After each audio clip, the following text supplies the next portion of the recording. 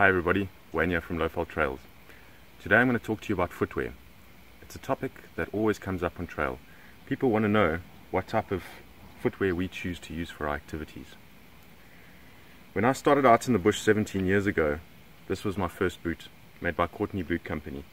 At the time, boots by Jim Green, uh, Rogue, Courteney were all very popular and they're all quite similar. They're all very heavy duty, durable, hardy boots.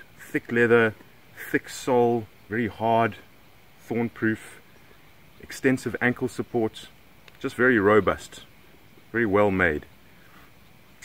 And I wore these shoes for first two years or so while I was in the bush.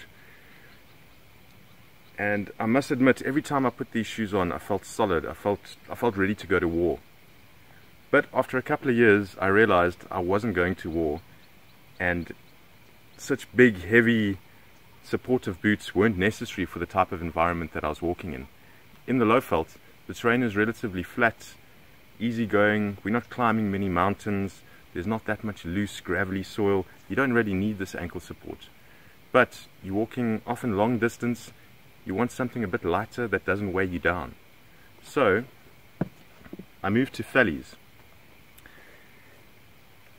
Vellies, short for Veldskoen, means bush shoe in Afrikaans. And this was the traditional shoe made by the voortrekkers back in the 1800s.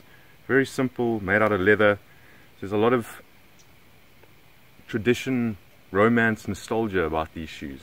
But that's, that's not the reason that they're practical and work well in the bush. First of all, compared to this big boot, look how much smaller the shoe is and how much lighter it therefore is. So it's a lot less cumbersome than the big boots. So first off, you don't get as tired wearing these. Secondly, what I really enjoy and what I choose when it comes to Vellies is Vellies with quite flat, thin, soft soles. A lot of people will say, ah, oh, but thorns are going to go through. Just look where you're walking. But the benefit of flat soles is that you're actually in contact with the ground underneath your feet. You can feel the stones and the sticks. And because of that, it makes you a lot more stealthy. So you make a lot less noise when walking with shoes like this. So I've been wearing these type of shoes, these Vellies, for about the last 15 years. And although I love them, I must admit there are some drawbacks. Leather shoes in general do not like getting wet and dry, and then wet and dry.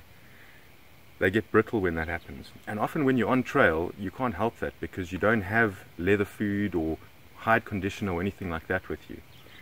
So what tends to happen in winter when there's dew in the early morning, your shoes get soaked and then dry out by the time you get back to camp. In summer after rainfall, again same thing, your shoes get soaked. They might take a long time then to dry out, but that constant getting wet and drying causes the leather to become brittle. And what usually happens is you start getting cracks or tears along the folds. As you can see in this one here, there's a small tear in that fold. And in this older one here, there's quite a big extensive tear that I've actually tried to stitch. So that's not good, but also leather tends to soak up water and become soggy and heavy and slosh around. So the biggest drawback about leather shoes and Vellies in particular is that they don't work well in wet conditions. Another small negative is that generally don't have much cushioning under the sole. So if you're carrying heavy loads and you're walking long distances with a big backpack, what often happens is you, you tend to get bruised underneath the soles of your feet because of very little cushioning in these shoes. So what I always do is I go to a pharmacy and I buy a pair of orthotics or insteps this just provides a little bit more cushioning in the right places and makes quite a big difference. Another benefit of Vellies is that they're relatively cheap, whereas big boots and more technical shoes run into many thousands. But be careful when buying Vellies because they're not all made equal. Some of the cheaper brands are not designed for walking and will fall apart within a couple of miles. So although I do love vellies and they're my go-to shoe for most situations in the bush, I must admit that there are a few drawbacks and in the future I will be investigating more technical shoes and trail running shoes and see how that goes. But for now my boot of choice is still a Vellie. And this specific one we designed together with Sapmock to produce a Vellie that we think is ideal for walking.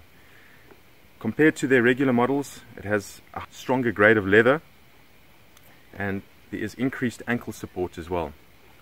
So have a look at our online shop and look at our Sapmock Lowveld Trails veldskoen.